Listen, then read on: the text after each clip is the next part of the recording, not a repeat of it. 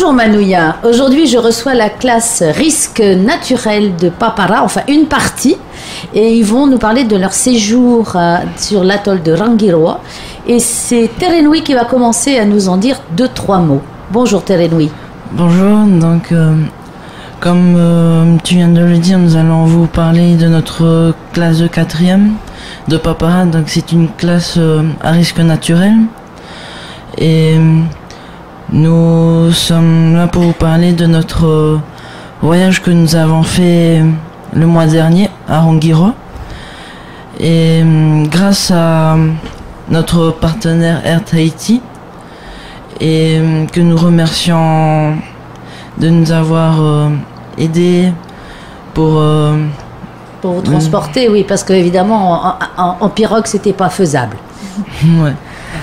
Euh, que nous remercions. Et nous voulons aussi remercier euh, les professeurs dont monsieur Yuan, madame Labarde, madame Viriamour, Dortoli, monsieur Hernandez qui nous ont aidés aussi à, faire ce voyage.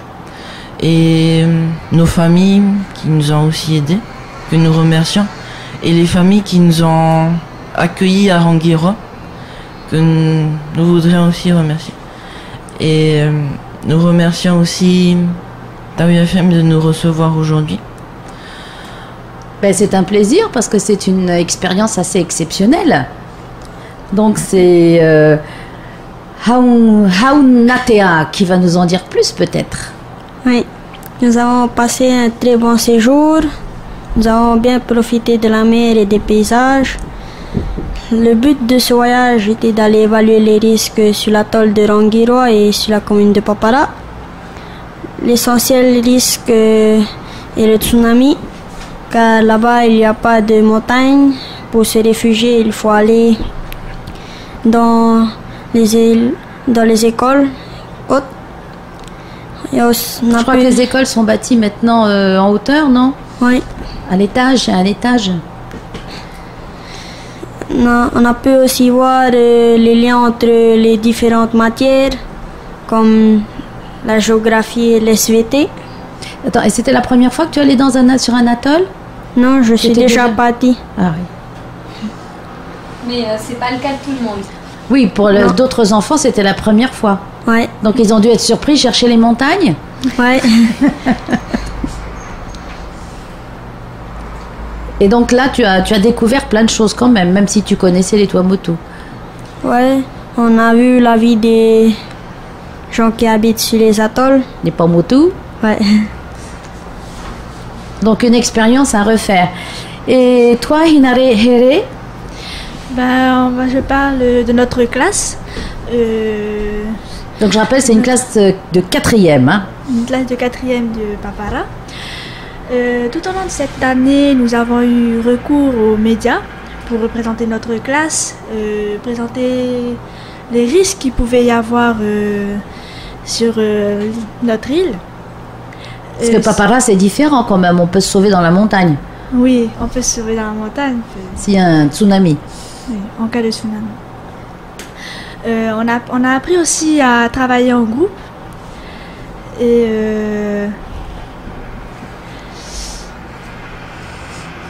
À parler un petit peu de ce que vous faisiez à différents publics un peu. ouais, différents publics, euh, les médias avec euh, TEN TV, euh, la dépêche de Tahiti et aussi devant des, élèves de primaire. Oui, parce que vous avez fait les professeurs. Oui, les professeurs devant les élèves de l'Anguillois. Et ils ont écouté, ils ont été sages. Ah oui, ils ont été très gentils. D'ailleurs, nous avons pu faire beau- plusieurs rencontres qui resteront vraiment dans notre cœur. Qu'est-ce que ça fait de se retrouver dans la peau d'un professeur devant d'autres élèves? C'est assez surprenant finalement. On se rend compte que les élèves n'écoutent pas forcément. Donc euh, oui, c'est... Et qu'il faut bien préparer son travail de, Oui. de professeur. oui, Parce que si on arrive les mains in the pocket, euh, ça marche pas. Hein oui, ça marche. pas. Surtout, on a beaucoup travaillé euh, à Tahiti et aussi à Rongiroa. On travaillait, on étudiait le village d'Avatoru. Et tout ce que nous trouvions comme euh, informations nous a permis de faire euh, nous exposer pour euh, présenter aux collèges et aux écoles primaires. Donc une expérience très positive. Oui.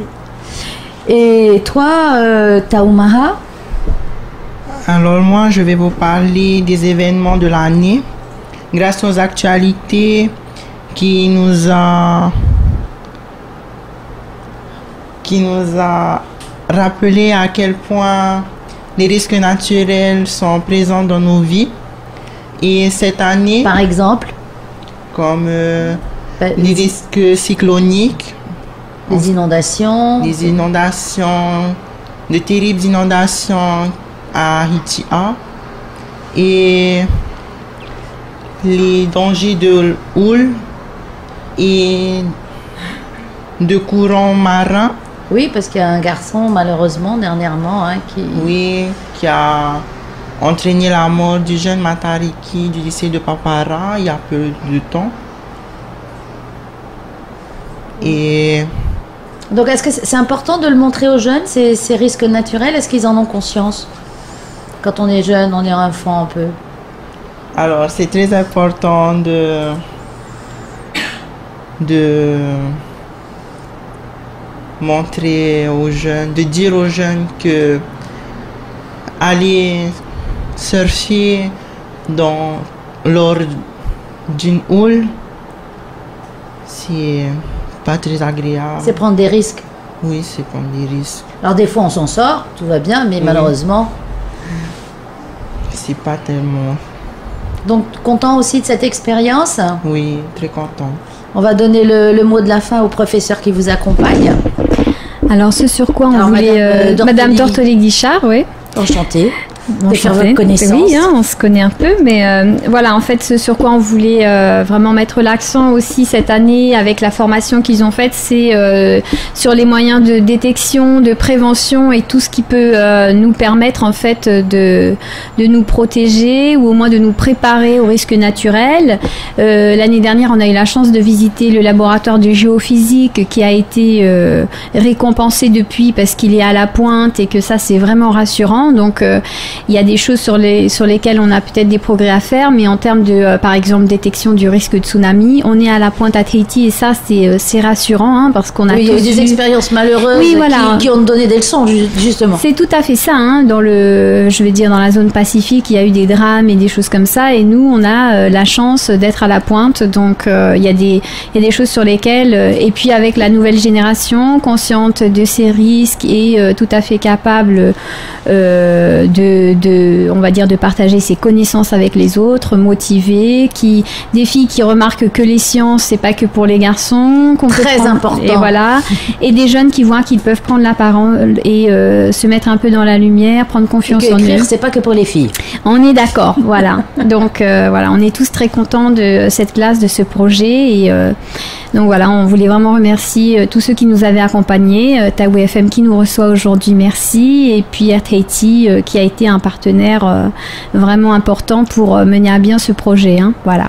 Eh bien, merci à vous. On dit bonjour à vos copains qui vont écouter, hein, bien sûr.